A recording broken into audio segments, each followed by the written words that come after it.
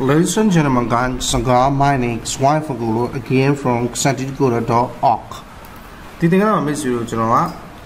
အော် drop down button လေးအကြောင်းသင်ကြားသွားပြီမယ် drop down button လေးပေါ့နော်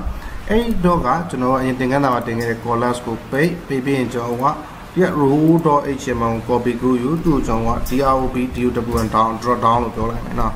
ပြီးရင်ကျွန်တော်ဒီမှာလဲ title မှာလဲ drop down down drop down လို့ပြောင်းထားမယ်ထဲမှာရှိတဲ့ data တွေအားလုံးကိုကျွန်တော်ဖြတ်ထားမယ်အဲ့တော့ကျွန်တော်မှာဘာပဲရှိမလဲဆိုတော့အဲ့ဒီ row တစ်ခုရှိမယ်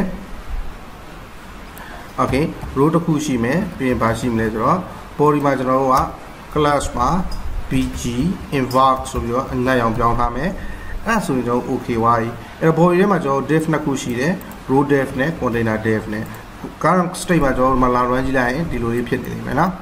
အဲ့တော့စမှာကျွန်တော် button ပေါ့နော်အဲ့တော့ button drop down ဆိုတော့ကျွန်တော်ဘာလုပ်ကုန်လဲ drop down တိစောက်ရှင်လဲဆိုရင်ဆုံးကျွန်တော် class တစ်ခုတိစောက်လိုက် drop down ဆိုတဲ့ class တစ်ခုเนาะ div တစ်ခုတိစောက်လိုက်ပေါ့နော် div မှာ class ကို drop down လုပ်ပြီးပေါ့အဲ့ဒီမှာကျွန်တော်ဘာကို drop down ချချင်တာလဲဘယ်သူ့ကိုနှိမ့်ရင်လဲဥပမာဆိုကြပါစို့ button ကိုနှိမ့်ခဲ့ရင် button ကကျွန်တော် btn OUDI outline SEC1DR1 secondary ပေါ့နော်အာ show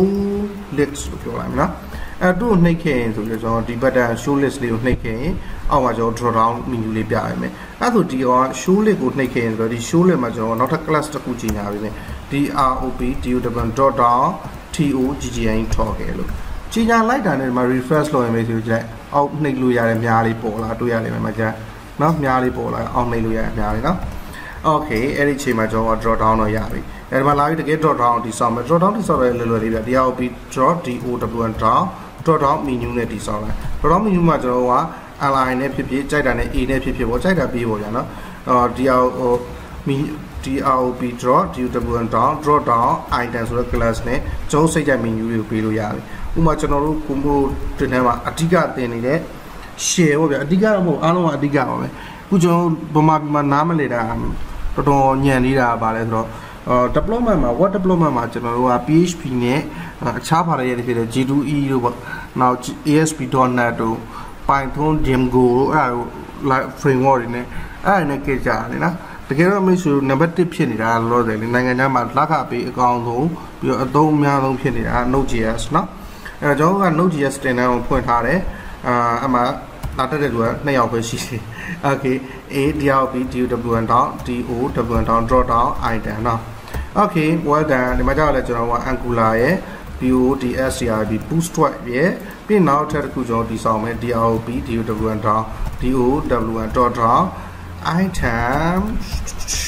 တို့ကြောင့်ကျွန်တော်တို့က boost angular bootstrap ဒီ main step မှာဆိုကျွန်တော် bootstrap 4မသုံးလဲရတော့ကျွန်တော်ကကျွန်တော်တို့ကစိတ်ကြိုက်လို့သဘောကျလို့သုံးတာရယ်နော် Angular ရဲ့တကယ်ပါတာကကြတော့ Node.js ရဲ့ပြီးရင်ကျွန်တော်ကူးချလိုက်တော့မယ်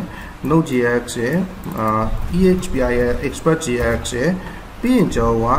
MongoDB ရဲ့ M1 GeoDB ပေါ့နော်အဲ့တော့ဒါ drop down နဲ့ပတ်သက်တဲ့တန်ဖိုးတွေအားလုံးကျွန်တော်ပေးလိုက်ပြီဒါ mean step မှာကျွန်တော် booster တော့မပါဘူး channel ကောင်လေးကို mean step လို့ခေါ်တာနော် M E A N နော် okay ကျွန်တော် okay ဝိုင်းဆိုရင်မှာ live chat refresh လုပ်ကြည့်လိုက်မယ်မနှိမ့်လိုက်ရင် drop down ကြလာတွေ့လိမ့်မယ် နှိမ့်လိုက်ရင်ကြလာမကြလာမကြလာကျွန်တော်တခုလိုလေးလို့ပေါ့အဲ့ဒါပါလဲဆိုတော့ data TOGGA toggle မှာ drop down လို့ကျွန်တော်ပေးရမှာပြီးရင်ကျွန်တော် refresh နှိမ့်လိုက်မလာနှိမ့်လိုက်ရင်ကြလာဒီမှာ angular booster bla bla bla bla bla bla အကုန်ကြလာနော်ဒါကိုပဲကျွန်တော်က drop down လို့ခေါ်တာဒါကိုပဲ menu မှာလည်းတုံးတယ်ကျွန်တော် navigation တွေမှာလည်းတုံးတယ် site bar တွေမှာလည်းတုံးတယ်စာဖြစ်ကြိုက်တဲ့နေရာမှာအကုန်တုံးလို့ရတယ်နော်အဲ့ဒီတော့ကမိတ်ဆွေတို့ကျွန်တော် drop down နဲ့ပတ်သက်ပြီးပြရတဲ့တစ်ခုရှိရယ် drop down ကို button group နဲ့တိဆောက်ပြီးတော့ drop down toggle split ကိုကျွန်တော်သုံးလို့ရတယ်နော်အဲ့ဒါဘာကိုပြောရလဲဆိုကျွန်တော်လက်တွေ့တိဆောက်ပြမယ်ဒီမှာလာပြီးတော့ဒီကောင်ခဏ off ထားလိုက်မယ်သူ့အောင်မှာမှကျွန်တော်ကနောက်ထပ် button group တစ်ခုတိဆောက်မယ် class group btn GRUB group လို့ပြီးလိုက်ဘာကြောင့်လဲကျွန်တော် button တွေအများကြီးထည့်တုံးတော့မှာမို့လို့ထည့်တုံးတဲ့ button တွေလည်းတစ်ခုနဲ့တစ်ခုပြင်ညာကတ်နေစီချင်တဲ့အတွက်ကြောင့်နော်အဲ့မှာကျွန်တော် button နှလုံးတိဆောက်မယ် btn ပြီးရင် BUTT1 button button BTN ပြီးရင် BTN SEC1 DR1 secondary လို့နော်အဲ button secondary တိဆောက်ပြီးတော့ကျွန်တော်တို့အာ data toggle ပေးရမယ်နော် data toggle drop down toggle မှာ DROP DW down drop down DOGGRE DOGGRE toggle လို့ပေးထားမယ်နော်နောက်ထပ် button တခုကျွန်တော်ထပ်တည်ဆောက်မယ်နောက်ထပ် button ကလည်းကျွန်တော်က BU BUTT1 button မယ်ဒီခေါက်ဒီခေါက်ကျတော့ကျွန်တော်ကအာ BTN လို့ပဲပေးထားပြီးတော့သူ့ကိုကျွန်တော်က drop down t o g g i toggle s p r d split လို့ပြီးလိုက်။ Now okay ဒီချိန်မှာဘာရှိလဲလို့ကျွန်တော်တစ်ချက်တွားကြည့်မယ်ကျွန်တော်တို့ဒီမှာ drop down လို့ပဲပေးထားမယ်နော် d o w r မှာတော့ drop down လို့ပြီးဒီမှာ reverse တိုက်ပြီးကြည့်ကြည့်မယ်။နင်းမလားမရှိဘူး။ ဒီမှာလည်းကျွန်တော်တို့ဘတ်တန်လေးတစ်ခုပါတယ်ညာဘက်မှာလည်းကျွန်တော်တို့ထပ်ပြီးတော့ဘတ်တန်လေးတစ်ခုထပ်ပါရယ်နော်အဲ့ဒါဒီမှာဂျော်ထောင်းထရော်ကယ်ကိုဒီမှာတစ်ချက်ဖြတ်ချလိုက်မယ်ရှေ့ကဘတ်တန်မှာမထည့်တော့ဘူး secondary ဒုတိယဘတ်တန်မှာကျွန်တော်တို့ drawdown ထရော်ကယ် drawdown ထရော်ကယ် split လို့ထည့်လိုက်မယ်အဲ့ဒါ reverse နှိပ်လိုက်ရင်အဲဒီလိုလေးဖြစ်သွားဒီဟာလေးကိုမိတ်ဆွေတို့မြင်စေချင်တာဒါပေမဲ့ကျွန်တော်က BTN secondary သုံးထားရဆိုတော့ရှေ့ကကောင်ကလည်း secondary သုံးတော့နောက်ကကောင်ကလည်း button secondary သုံးမှာရုပ်ထွက်ခြင်းညီမယ်နော်ဒီလိုနှိပ်လိုက်မှရုပ်ထွက်ညီသွားနော် အာဒီကောင်နှိမ်အောက်က draw down ကြာပေါ့ကျောအပေါ်မှာလုတ်ခဲ့တဲ့အတိုင်းပဲ draw down တိဆောက်ချင်တယ်ဆိုဘာလုပ်ရမလဲအာ